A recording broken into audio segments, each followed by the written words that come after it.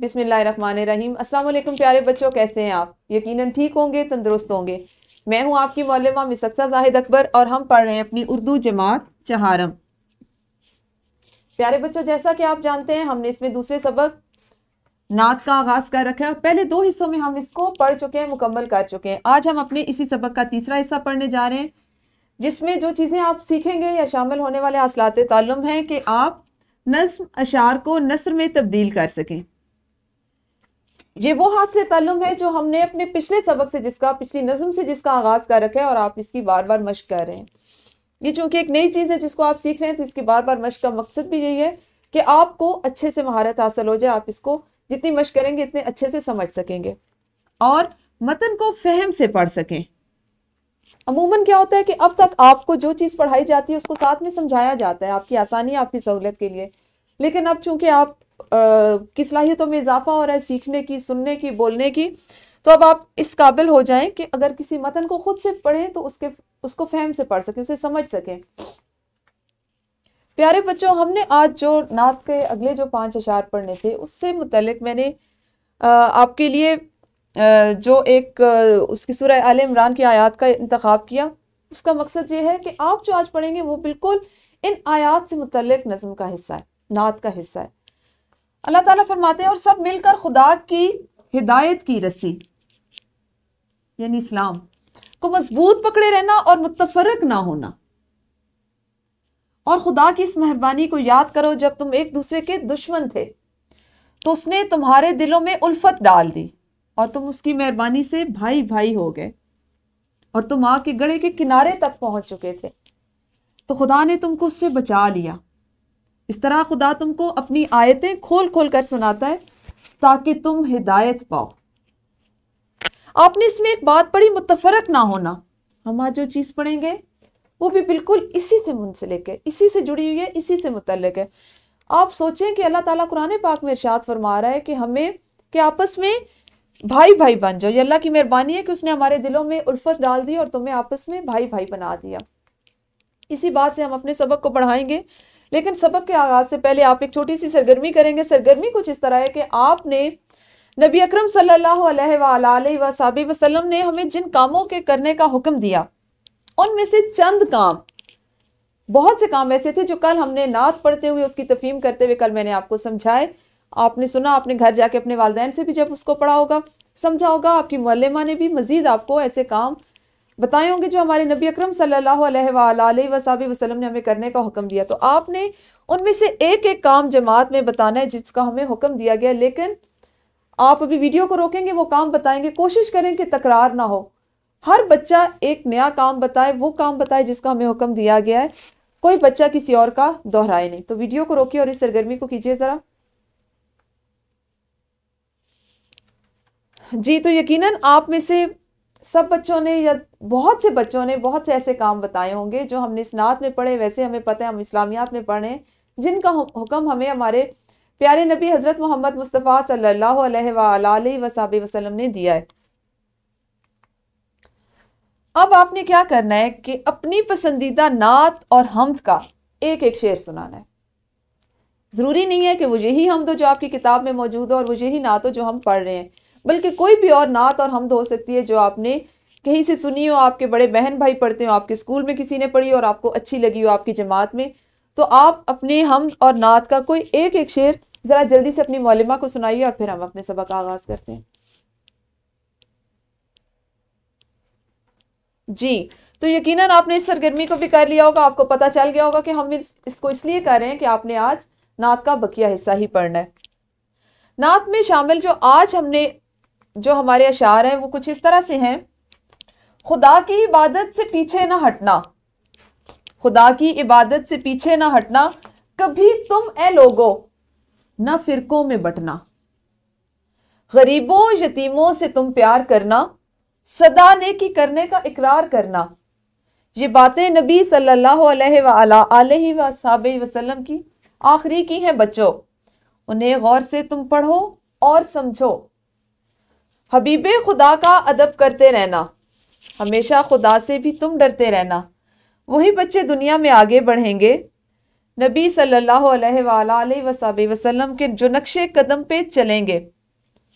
Video को यहीं पे रोकें और इन अशार की मिसाली बुलंद खानी क्लास में करें। उसके बाद हम इसकी तफीम करते हैं।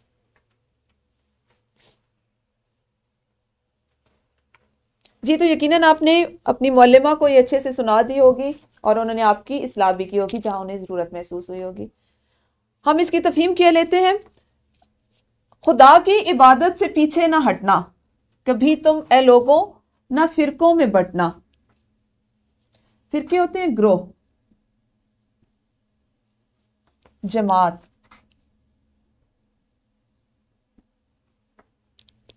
गरीबों, यतीमों से तुम प्यार करना सदा, हमेशा। नेकी करने का इकरार करना। इकरार, वादा। हम जैसे कल पढ़ रहे थे कि इस नात में हमारा जो एक अहम हिस्सा है या इसका जो मौजू है या मौजू जो नात के लिए मुंतखब किया शायद ने मुझे है कि आप सल्लल्लाहु अलैहि वसल्लम जो है, आप वसल्लम के तशरीफ़ लाने से पहले हालात क्या थे और उसके बाद में हालात क्या हुआ आपने किस तरह से इस्लाम की तबलीग शुरू की? इसका एक हिस्सा हमने चूँकि पहले पढ़ना शुरू कर दिया था। तो इस शेर में अब शायर ये कहता है कि अल्लाह ताला, आप वसल्लम ने चूँकि अल्लाह ताला की इबादत का हुक्म दिया, अल्लाह ताला की इबादत उसको एक मानने का हुक्म दिया, और आप वसल्लम के ज़माने से पहले बुतों की पूजा की जाती थी, बुत प्रस्ती की जाती थी। तो यहाँ पे बिनात में यही कहा जा रहा है कि जब आप सल्लल्लाहु अलैहि वसल्लम ने दुनिया में तशरीफ़ ला के इस्लाम की बाकायदा तबलीग का आगाज़ किया तो आपने बताया कि अब अल्लाह के अलावा किसी और की इबादत ना करना, अल्लाह के साथ किसी और को शरीक ना ठहराना। अपनी हर बात को अल्लाह से करना, अपनी हर मुश्किल की, जो मुश्किल का जो हल है वो अल्लाह से तलब करना और हर वक्त अल्लाह से मदद मांगना। किसी और से, चाहे वो कोई भी हो, वो दुनिया का कोई भी रिश्ता हो, वो कोई भी ताकत हो, अल्लाह के अलावा किसी और से ना मांगना और उसी की इबादत करना। अब कभी तो मैं लोगों, ना फिरकों में बटना, अपने आप को पहले लोगों की तरह, ग्रोहों में तकसीम ना कर लेना।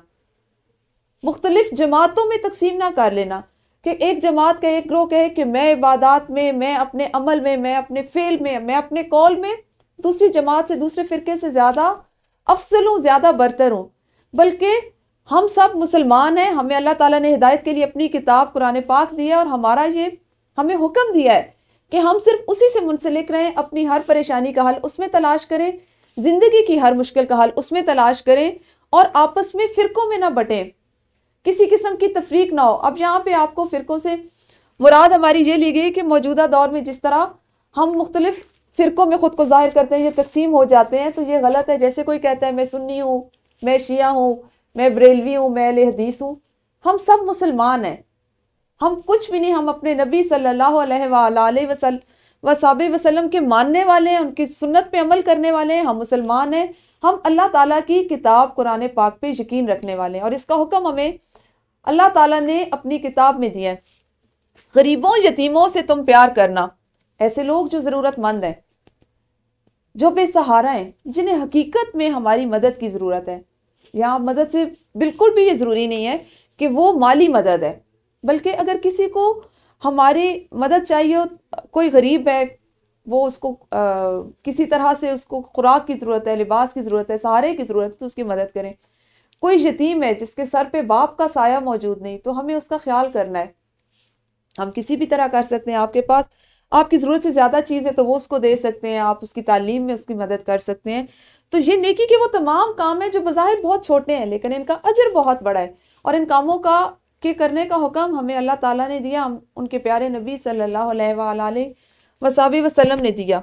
सदा नेकी करने का इकरार करना, चाहे कुछ भी हो कैसे भी हालात हो, मुश्किल हो, परेशानी हो, हक और सच का रास्ता, नेकी का रास्ता, सच्चाई का रास्ता कभी नहीं छोड़ना। अगर आपको लगे कि आपको दुनिया में कोई बहुत बड़ी मुश्किल पेश आ रही है, आपके सामने कोई ऐसी परेशानी है और आप अगर नेकी से हट के उसका हल देखते हैं तो वो आसान है। तो ऐसे में भी आपने नेकी, सच्चाई और भलाई के रास्ते को नहीं छोड़ना, बल्कि हमेशा अपने आप से ये अहद करते रहें। खुद को इस बात को याद दिलाते रहें कि आपने हमेशा हक और सच का साथ देना है, उसी रास्ते को इख्तियार करना है। ये बातें नबी सल्लल्लाहु अलैहि वसल्लम आखिरी की हैं, बच्चों। उन्हें गौर से तुम पढ़ो और समझो। हबीब खुदा का अदब करते रहना। हमेशा खुदा से भी तुम डरते रहना। वही बच्चे दुनिया में आगे बढ़ेंगे। वही बच्चे दुनिया में आगे बढ़ेंगे, नबी के जो नक्शे कदम पे चलेंगे। अब तक हमने इस नात में जितनी बातें पढ़ी कि हमारा ईमान है, फरिश्तों पर, किताबों पर, तमाम इलामी किताबों पर अम्बिया पर, क़्यामत के दिन पर।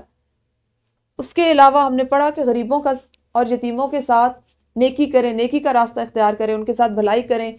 बातल से कभी नहीं डरना, बुतों की कभी पूजा नहीं करनी, अल्लाह के साथ किसी और को शरीक नहीं ठहराना, वो किसी भी तरह से हो सकता है। और अपने मामला को अच्छे तरीके से हल करना है। तो ये तमाम चीज़ें हमें हमारे प्यारे नबी हज़रत मोहम्मद मुस्तफ़ा सल्लल्लाहु अलैहि वसल्लम ने बताई। और ये वो कलिमात हैं, ये वो बातें हैं कि जिन्हें हमें हमेशा अपनी पूरी ज़िंदगी में तमाम उम्र इनको अपने साथ रखना है, इन पे गौर करना है और इन पे अमल करते रहना है। प्यारे बच्चों, अगर कभी आपको ऐसा लगे कि आप, क्योंकि देखें, आप जानते हैं कि शैतान ने अल्लाह ताला से इब्लीस ने ये मोहलत मांगी थी कि मुझे क्यामत तक की मोहलत दे दे, मैं आपके नेक बंदों को भटकाता रहूँगा। तो अगर कभी आपके साथ ऐसा हो कि वो शैतान मरदूद आपको नेकी के रास्ते से भटकाने की कोशिश करे, आपके दिल में ये वहम, खौफ, वसवसा डाल दे कि ये रास्ता मुश्किल है, इस पर सज़ा मिल सकती है, इस पर तुम्हें परेशानी का सामना करना पड़ सकता है तो आपने उसको झटक देना है, उसको खुद से दूर रखना है। और वो कैसे कर सकते हैं कि आप बार बार अपने ईमान को ताज़ा करें? नबी सल्लल्लाहु अलैहि वसल्लम की बातों को याद करें। आप सल्लल्लाहु अलैहि वसल्लम के कॉल को याद करें। आपकी सुन्नत पे हम अमल करेंगे तो हम सीधे रास्ते पे रहेंगे, हक के रास्ते पे रहेंगे, सच्चाई के रास्ते पे रहेंगे। हमारे ईमान की तकमील के लिए ज़रूरी है कि हम अल्लाह के प्यारे महबूब, अल्लाह के प्यारे नबी हज़रत मोहम्मद मुस्तफ़ा सल्लल्लाहु अलैहि वसल्लम का हमेशा अदब करें। क्यों? क्योंकि ये हमारे ईमान का ज़रिया ईमान का हिस्सा है और ये मुसलमान होने की हैसियत से हम पर फ़र्ज़ है। इसके साथ साथ आप सल्लल्लाहु अलैहि ने हमें हुक्म दिया कि हमेशा अल्लाह से डरते रहना। और अगर आप दुनिया में तरक्की चाहते हैं, आपने शायद अपने बड़ों से ये बात सुनी हो, अपने इस से ये बात सुनी हो कि दुनिया में तरक्की के लिए, दुनिया में अच्छे मकाम के लिए या दुनिया में सुकून के लिए आखरत के सुकून के लिए, आखरत के अच्छे अमाल, अच्छी ज़िंदगी के लिए यहाँ पे अमाल को अच्छा करना, दुरुस्त करना, नेक करना, अच्छाई के रास्ते को इख्तियार करना कितना ज़रूरी है। अब हमें अच्छाई का रास्ता कहाँ से मिलता है? आप सल्लल्लाहु अलैहि की सुन्नत से, कुरान पाक से। तो हम में से वो बच्चे, आप में से आप छोटे छोटे बच्चे, आप सारे माशाल्लाह बहुत अच्छे हैं, वो बच्चे दुनिया में बहुत तरक्की करेंगे, जो दीन इस्लाम का हक का और सच्चाई का रास्ता इख्तियार करेंगे। प्यारे बच्चों, आपको इस नात में, यहाँ पे ये किताब में एक नाम भी लिखा हुआ दिखाई दे रहा है, उमर तबस्सम। आप में से कोई मुझे बता सकते हैं कि उमर तबस्सम क्या है? बिल्कुल सही, ये उन शायर का नाम है जिन्होंने ये नात लिखी है। और अगर आप गौर करें तो अब तक आप, आपने हम पढ़ी, उसके आखिर में, उसके अख्ताम पे भी नाम था, वो शायर का नाम होता है। आप जो नज़में इसमें किताब में मज़ीद भी पढ़ेंगे, उसमें शरा के नाम भी साथ साथ दर्ज हैं। अब हम एक सरगर्मी करते हैं, चूँकि आज आप जो चीज़ें सीख रहे हैं, या आपकी जिस सलाहियत में इजाफा किया जा रहा है, वो ये है कि आप कोई मतन पढ़ें और ख़ुद उसकी तफीम कर सकें, उसको फ़हम के साथ पढ़ सकें। तो आपके लिए मैंने एक और नात है, उसके चंद अशार लिखे हैं। अब ये आपकी मौलमा आपको पढ़ के नहीं सुनाएँगी, बल्कि आपने अभी वीडियो को रोकना है और ख़ुद वो आपको स्क्रीन पे लिखा हुआ भी नज़र आ रहा है, या आपकी मौलमा आपके लिए ये तख्त तहरीर पे दर्ज कर देती है। आप इसको दुरुस्त तलफ़ और आहंग से पढ़ें और इसका जो मफहूम है जो माननी है, जो आपको इससे समझ आए, वो अपनी मौलमा को बताएँ। जी तो यकीनन आपने सरगर्मी को कर लिया होगा। अब हम बढ़ते हैं अपने सबक की मश्क की तरफ़। मश्क का सवाल नंबर सात मुदरजा झैल अशार की नसर बनाए, क्योंकि आज आपने अशार को नसर में बदलना भी सीखना है। तो एक सातवां सवाल और एक पहले सवाल का वो हिस्से जो कल हमारे रह गए थे या हमारे आज के सबक से मुंसलिक थे। हर तालब इल्म नज्म के चंद अशार लय और आहंग के साथ पढ़े और दर्ज झैल सवाल के जबानी जवाब आते। इसमें ये वो इससे दूसरा, तीसरा, छठा और सातवां। ये आपने अभी करने हैं जमात में और इसके अलावा सवाल नंबर दो। नात को मद्देनजर रखते हुए दुरुस्त जवाब का इंतखब करें और मुतल दायरे को नीले या काले कलम से भरें। ये भी आपने, ये वाला मुकम्मल सवाल जो, इसको भी अभी आपने जमात में करना है और इसको मश्क की जैल में करने, अपनी किताब पे करने, जो इसे किताब पे करने वाले हैं, वो भी करें, जो ज़बानी सुनाने वाले हैं, वो ज़बानी अपनी मौलमा को सुनाए। इसके अलावा घर का काम आपका है। घर के काम में आपका सवाल नंबर पाँच शामिल है, जिसमें है, सबक के तनाजर में दर्ज झैल सवाल के तफसीली जवाब लिखें। सवाल है, आप सल्लल्लाहु अलैहि वसल्लम की आमद से पहले अरब माशरे में जहालत की कौन सी आदात मौजूद थी? कल हमने जब इससे मुतल अशार पढ़े थे तो उसमें वो तमाम चीज़ें मैंने आपको बताई थी कि अहले अरब जो थे, वो जिनमें जिन बुराइयों में मुबतला थे, आपने इसके जवाब में वही, वो बुराइयाँ तमाम लिखनी है। दूसरा सवाल है, आप सल्लल्लाहु अलैहि वसल्लम के कोई से दस सिफाती नाम, दस सिफाती नाम और उनके मानी तहरीर करने हैं। उसके अलावा आपके पास एक वर्कशीट है। वर्कशीट का पहला सवाल है कि दिए गए मतन का बगौर मुताला करें और दुरुस्त तलफ़ से वालदेन को सुनाएँ और मफहूम की भी वजाहत करें। आज चूँकि जो आपको चीज़ सिखाई जा रही है वो ये है कि आप मतन को फहम से पढ़ सकें। तो पहले हमने अपने इस महारत को सीखने के लिए इसकी जो मश्क की वो नात से की। तो अब मैंने आपके लिए एक आ, जो इकतबास है वो नसर का लिया है ताकि आपको नसर से भी इस महारत की जो है वो मश्क हो सके। आप इसको सीख सकें। दूसरा सवाल है आपके पास कि दर्ज अशार की नसर बनाए। हमारा आज वो हिस्सा जिसपे हम ख़ास तौर पे जो सीखना चाह रहे हैं वो नसर है और मतन की आ, को फहम से पढ़ना है तो ये अशार आपके लिए लिखे गए इनको भी आपने नसर के अंदाज में अपनी वर्कशीट पे करके लाना है। इस कराम आपके लिए लेसन प्लान पीपीटीज और वर्कशीट मौजूद है। आप अपनी सहूलत के मुताबिक डिस्क्रिप्शन बॉक्स इनको डाउनलोड करके इस्तेमाल कर सकते हैं। शुक्रिया।